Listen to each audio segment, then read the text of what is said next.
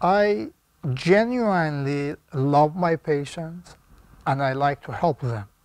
And when they get to me, usually they have been practically everywhere else. Essentially, our practice is devoted to the reproductive endocrinology and infertility and minimally invasive and robotic surgery for the benign diseases, including endometriosis of the bowel, bladder, ureter, diaphragm, ovarian remnant syndrome, ovarian cyst, hysterectomies for myomas or endometriosis, or other pathologies like that. I have been in private practice my whole career, and I enjoy taking care of the people and dealing day to day, talking to the patient, solve their issue, help them. That is an accomplishment for me. That is why I enjoy seeing people and taking care of them and helping them.